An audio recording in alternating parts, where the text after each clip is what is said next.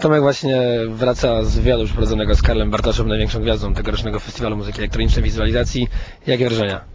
Karl Bartos okazał się nie tylko bardzo sprawnym muzykiem, ale także znakomitym rozmówcą, który potrafi patrzeć na muzykę w sposób średni nowoczesny, nieszablonowy i interesująco o tym opowiadać. A jak Ci się w ogóle podoba cały festiwal? Wygląda to znakomicie, chociaż przyjechałem dopiero dzisiaj, ale spodziewam się, że wieczór będzie gorący.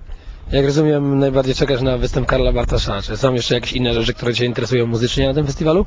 Jan Jelinek przede wszystkim, no i Karol Bartos jednak.